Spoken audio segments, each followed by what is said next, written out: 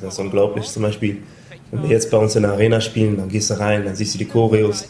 Das ist Wahnsinn, ja. Schwer zu beschreiben, aber es ist einfach cool. Ja. Steht bereits.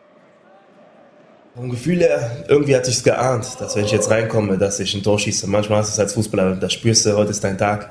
Und dann wusste ich, okay, wenn ich den Ball habe, dann versuche ich es direkt. Und ja, der Moment dann so zu schießen, ist Wahnsinn. Braunschweiger Personal kann nichts mehr gemacht werden. Da ist direkt Mickels. Mit Tempo zum Tor. Guter Abschluss. Der Joker sticht. Fesic zu langsam in der Ecke. 81. Minute. Wie lange war der jetzt auf dem Feld? Eine Minute? Es gab dann Tage, wo du in der Oberliga warst und dann Drittliga-Fußball, Zweitliga-Fußball geguckt hast und dachtest, da könnte ich auch spielen, weil du deinen Kollegen da siehst. Aber ja, ich habe hart gearbeitet und äh, habe mich gefreut über die Chance, die mir hier gegeben wurde und wollte es dann unbedingt zurückzahlen und denke, ich habe es jetzt das halbe Jahr ganz gut gemacht.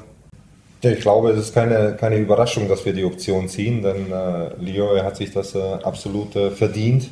Ähm, denn äh, man, man sieht seine Qualitäten, die er ja auch schon davor hatte und jetzt äh, über Umwege eben beim MSV Duisburg gelandet ist, äh, denn es war einer der größten Talente in Deutschland. Es ist immer wieder schön, wenn man dann bestätigt wird, ähm, auch als, äh, als Verein, dass man eben in einem Jungen was sieht, was er, äh, was er ist imstande zu leisten.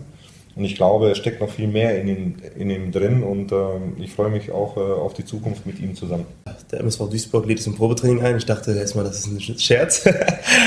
Weil zu dem äh, Zeitpunkt, glaube ich, waren nicht so viele Vereine interessiert, um ehrlich zu sein. Aber ja, war ich natürlich froh und nervös, als ich das erste Mal hier reinkam. Sich den äh, Thorsten Nieberknecht, siehst du normalerweise im Fernsehen. Ivo siehst du im Fernsehen, kennst du noch von früher.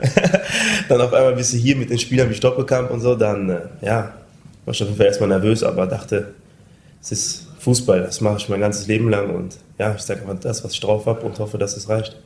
Leroy ist 24. Äh, er hatte noch, noch Potenzial nach oben, das weiß er selber auch. Er hat auch Ziele ähm, und ähm, natürlich würde ich mich freuen, wenn wir beide unsere Ziele erreichen und äh, wenn er seinen Teil dazu beiträgt, wie bis jetzt auch. Und ähm, da gibt es sicherlich ein paar Sachen, die er eben auch verbessern kann. Aber wie gesagt, er ist auf einem sehr guten Weg.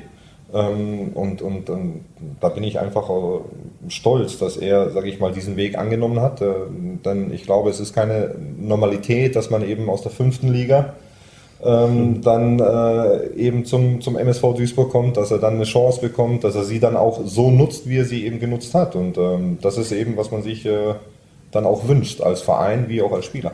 Ja, jetzt steht halt ein, ein schweres Auswärtsspiel an gegen Groß Asbach. Und äh, natürlich wollen wir das, äh, das Spiel gewinnen. Und ähm, dann haben sich die Jungs erstmal den, den Urlaub verdient, denn äh, aus meiner Sicht haben sie eine super Hinrunde gespielt. Und äh, unser Ziel ist es, äh, A, dass sich die Jungs weiterentwickeln und B, dass wir erfolgreich sind. Und äh, da glaube ich einfach, da sind wir auf einem guten Weg. Und ähm, wenn wir eben so weitermachen, können wir eben unseren Traum verwirklichen, ob Leroy oder wir als Verein. Und da gilt es eben äh, tagtäglich äh, hart dran zu arbeiten.